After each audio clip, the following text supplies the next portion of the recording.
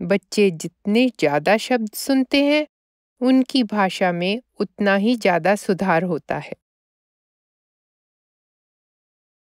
इसलिए जब हम किसी बच्चे से बात करते हैं तो केवल कुछ शब्द बोलना एक हवा निकले हुए गुब्बारे की तरह होता है।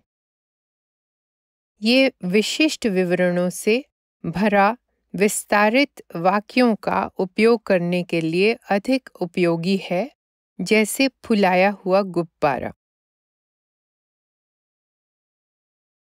उदाहरण के लिए, कहने की बजाय, बाहर जाओ, आप कह सकते हैं, अपने दोस्तों के साथ खेलने और अच्छे मौसम का आनंद लेने के लिए बाहर जाएँ। या यह कहने के बजाय, यहाँ आओ आप कह सकते हैं, यहाँ आओ और मैं आपके बालों में कंघी करूँगा, ताकि आप आज अच्छे दिखेंगे।